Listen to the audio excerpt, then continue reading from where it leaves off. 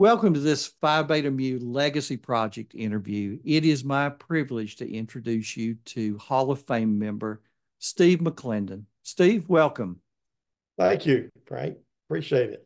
We have known each other for many, many years, and our paths have crossed in in numerous really good ways. And I, am I'm, I'm really looking forward to uh, bringing your story to everybody out there. So uh, let's let's start at the beginning. Uh, what got you into music in the first place? Well, you know, I was like every other kid, I think, in the fifth grade when the band director comes around and recruiting and uh, getting people to join band. And so I joined and uh, had a really started, I believe, sixth grade. They recruited us at the end of the fifth grade. and I started in the sixth from a guy named Mr. Smith, who actually was a military guy from Fort Rucker and was just kind of a part time deal. But we wallered through that year and uh, went pretty good. And my dad sat me down when I decided to join and said, Look, now, if we do this, it's for the long haul, it's not right. temporary. And so it was. Right. And I was blessed as I moved into the seventh grade uh, when I really had to make a choice if I was going to stick or not. And we, I was fortunate to have a guy named Rodney Dassinger who many very, people would know. Very familiar name. Yes. Finest teachers of all time. I only had one him for one, best. but he had a great impact on my life and uh, followed me the rest of my life before he died. We we were friends and he was a mentor and uh, and then John Christian graduated from Auburn University. Uh, guy I never met or anything. He came in at my eighth grade year and I had him all the way through high school and he really became my idol. He was just just such a genuine person and uh, obviously wanted to be special to us and give us an opportunity to experience the same things he did as he was in band in high school up at Carroll High School under Pete Mosley, uh, uh, all another legend. Mm-hmm. So, you know, those two guys had a tremendous impact. And I, I'd made up my mind probably around the 10th grade. I think I want to major in music and and try to do what uh, Mr. Christian's doing here at Dale County, you know, and so that carried on through, and, and I went to Troy University, Troy State University at the time, and yeah. of course had Dr. Johnny Malone and people like Jim Mahaffey and uh, Truman Welch and all those guys had such an impact. Uh, till you know that's where I, I, guess I grew into it all and, and majored mm-hmm. in music. Uh, wound up uh, actually Rodney Dassinger out of the blue called me and he had there was a job opening that he wanted me to apply for. He realized I probably had graduated from high school. He had kept up with me all those years since seventh grade, hmm. really. Mm-hmm. And uh, worked out. I went up to Fairview High School and got that job in, in Cullman County. Never been, uh-huh. I'd probably been north of Montgomery very many times in my life. And uh, that turned out to be a great, a great situation for me. I became a you know, a member of that community, the old school. You get in there and be part of the community, and it just worked out great for me. And yeah. Uh, there, there were some other very fine band directors right there in that Cullman City, Cullman County Absolutely. area at that time. Absolutely. Uh, you know, I I got the tail end of uh, Dave Ward up at Grissom. Yes. And when I first started teaching, I got to meet all these guys, the Countryman boys, you know, the brothers. I yes. think Jerry Bennett Decatur. And of course, Rodney was at Hartselle at that time. He was the band director at Hartselle. So I, uh, Bill Slayton was at Cullman and, and, uh, trying to think of the guy that right before him that had been there for years. Uh, he was at, in his last year, he had retired and Bill was the band director in waiting my first year. I can't remember his name right top of my head for some reason. But yeah, there were, there were a lot of great people that influenced me my whole career. Um, it just all snowballed and fell into place for me, you know, for my whole year, my whole life, I guess. I, I feel very blessed and it, it, was a great career for me, no doubt yeah. about it. Yeah. And I, met, I, you know, I, remember those days. Yeah. Yeah. I met Wayne Washam over at Arab, Stacy oh, yeah. Albertville, uh, uh, Freddie Meadows, an all time great over at Lawrence County. I just around a lot of good people. And I, uh, I ran into the minor band at a contest about my third or fourth year teaching. Johnny Jacobs and I think Harry was over there then. They were, mm-hmm. uh, Mike, there were a bunch of guys. I ran into those, and I just kind of idolized uh, all those people and uh, had the courage to walk up and and and meet them. And you know, I remember the first time having an, I was scared to death. I saw uh, Stacy Goss and Bob Killian over at a marching contest, and I thought, I, that's Stacy Goss. That, that's the guys at Albertville. I just walked up and told them where I was, and they treated me like I was one of them. You know. Mm-hmm. And I learned early on. Johnny Jacobs did the same thing to me when I walked up to him for the first time and introduced myself. I just wanted to know him. I just wanted to know, you know, how do you do this? you know, and so, uh, and, and, you know, I think a lot of us have the same stories over the years. We run into those people and find out just how genuine they are, and, and they have that same passion to share music and and allow other people to, you know, yeah. enjoy. Abs- absolutely. You know, and as I'm talking to different Hall of Fame members, there's some names that just keep coming up over and over. Truman Welch is one of them. Johnny Absolutely. Jacobs is another. And Absolutely. you know, and everybody I talk to, they have stories of their mentors and people that took an interest in them. And you know, and, and Johnny was one of them. And right. then he just kind of pays it forward. As well, you do as well. You're one of them too. oh. I can remember many times talking to you over the years, you know, at AMEA and Allstate. Yeah. Uh, Booth used to do the uh, the books. Ed Ed Swada.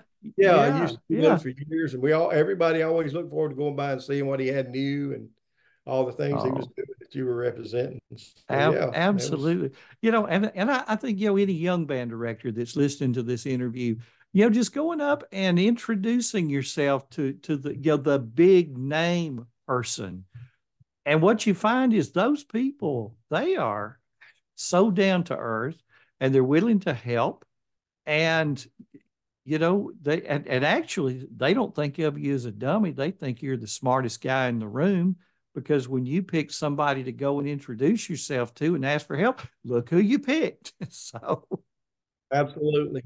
Absolutely. One of my favorite stories of all time when I went to Midwest one year and I was walking through the hills and Dr. Long comes out of this bar or restaurant or whatever and grabs me, hugs me. Hey, I'm glad you're here. Come in here. I want you to meet some guys. Well, I didn't have any idea what I was walking into. I walk into Harry Begian and all these Big yeah. Ten guys. And I think uh, Fred Fennell was in there. There's all these, it's a kind of a fluid place, you know. And yeah. I'm standing there thinking, what am I doing here? And I'm trying to get out. And you know how Dr. Long was. I mean, he's going to, and all those guys, even then, just talked mm-hmm. to me mm-hmm. like I was just one of them.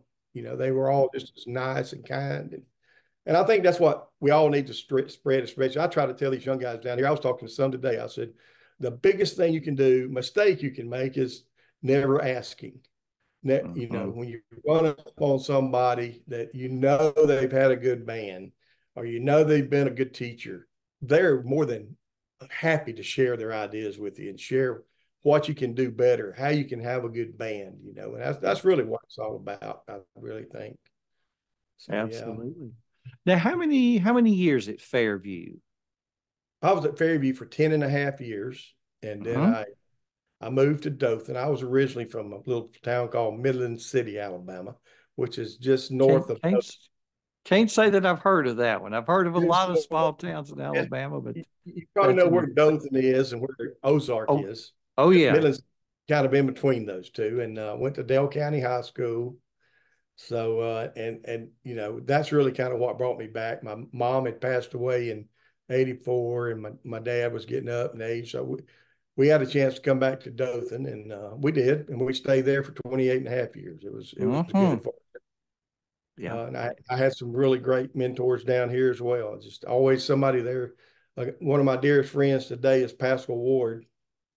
He was the band director over at Bainbridge. He kind of took me under his wing and uh, a guy named Bill Hickman, who was a pretty prominent band yes. director oh, yeah. Good Day over at Enterprise. He he was really good to me. But uh, Pascal has the whole time I was at Dothan, he was always so good to help me and mentor me and give me a lot of opportunities over the life's journey. So uh, a lot of good guys, really. I, I couldn't give enough kudos to like Stacy Goss. He was always so good to me, and uh, Wayne Washam, you know, Wayne was just such a treasure. He just, I know everybody knows Wayne. It's been around very long, and he was just a and and everybody that knows him likes him. That's exactly right. Yeah, my my my favorite Wayne Washam uh, quote was, you know, there there's some kids that there's some kids the band needs, and there's some kids that need the band. That's right. Yeah, that's absolutely. you know, and if we lose sight of that, then you yeah. know we've lost the major purpose of band. I think you know, it is. Absolutely, yeah. Good place for everybody if, if it's done right. So 20, 28 years at uh, at Dothan, and tell us a little bit about your son because your son seems to be a chip off the old block. Well, he's a he's a lot better chip than I. He's done a.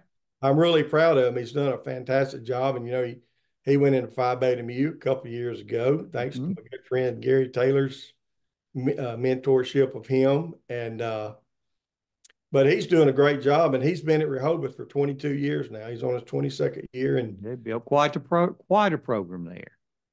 Done a fantastic job. Yeah. I mean, he really has. He, he's just amazing. I'm just so proud of him, and uh, he he he's had some really fine bands the last several years. They've just he plays you know high level literature. He, I, when he was in high school, I started taking him down to Rodney Dasher and moved to Rutherford. Had some incredible bands. Mm-hmm. And at least twice a year, I would take him down there, and we would just sit and watch Rodney's rehearsals. Uh, we, we most every year, I guess, especially since he's been teaching, we drive over to uh, District One, Florida, over in Fort Walton Beach area, which is one of the premier band areas yeah. in the country. So uh, he's been exposed to all the people I was his whole life, and exposed to all of that. And, I've always tried to expose him to the really good programs and. Uh, I think he's paid attention. I think he, he you know, he listened. I, and I believe so. Yeah, paid attention. I, I was proud. He had a great performance at uh, Rehoboth Band at AMEA last year. I was just mm-hmm. real, real proud of him. Yeah, that that's you know that's quite an honor, you know, to to be able to play your own MEA, play for your peers, yeah play for people who some of whom who were your mentors and and that sort of thing that you know that that is just a great experience so uh now that you've retired but, what yeah, are you doing I mean, what are you doing with yourself now post retirement well actually um right when i retired i had two opportunities two friends uh one was uh, a guy named Shannon Collins here, Screen Tech down here in Dothan. I went to work for him selling T-shirts and different types of apparel. And uh, also at the same time, within a week's time, David Brandon had started Southern Performances. Uh, mm-hmm. So I went to work with them too. So I do. I'm, I'm in contact with band a lot. I I do any kind of band supplies. Uh, I don't I don't work regular at it. I don't work every day, but I work, you know, when I want to. And I've got a lot of great friends and customers that are real faithful to me. And uh, it's been good for me. I've been doing that now for eight years. So, uh, wow. Been, been, I, I, didn't realize it's been that long since you retired. Been retired eight years. Wow. Wow. Well, this this is great. Any other words of wisdom that you'd like to pass on, especially to those you know those young folks? You know, it, it, it seems like only yesterday I graduated from college and you know was starting that first year. Yeah, I know uh, the feeling. I, you know, I I enjoy I, I enjoy the bands, and I I I went. I'm look thinking back at AMEA. I mean MPA MPA this year over here down here in District Eight, and how how much improvement it's made. The district's made so many really good young band directors. Uh, mm-hmm. So I got to give a shout out to all of our colleges, uh, all the colleges in the state for preparing these kids to come out and be teachers. And, and I, you know, I, I think they're more advanced, I know, than I was when I came out. And I think the greatest wisdom we can give them is just like we talked about earlier, uh, reach out to your mentors, re- find a mentor, find many uh-huh. mentors and uh, reach out to them and, and listen listen to what they say because uh, they have a lot of words of wisdom. There's no question about it. Absolutely. Well, Steve, this is great. Thank you so much for spending the time with me, and I, I know many, many people are going to enjoy, uh, you know, what you have had to say. Uh, well, I appreciate it, Frank, and I, like I said, I'm just a humble guy that's fortunate to be where I've been. I, uh-huh. I was just a B. I, what I feel like I have represented is a B flat guy if you'll just work hard and uh, you know do a good job every day, be consistent in what you do, get somewhere and stay there and teach uh-huh. and build something. Uh, that's what I did. I didn't do anything monumental or great, but uh, I feel like I did a, a, a, good job for my communities and my school systems that I work for. Uh, always try to make them proud and give them something they could be proud of. And I think that's that's what we need to, you know, be sure to focus on with our our jobs. We don't need to be too. I think sometimes we get a little too competitive minded and these competitive things. I think sometimes we can lose the major purpose of of what we're about. Yeah. But uh, you know, it's a great career. I have no no regrets, and uh, I'd do it all over again for sure. Fantastic, Steve Steve McLendon, Phi Beta Mu Hall of Fame. Thank you, Frank. It's a pleasure.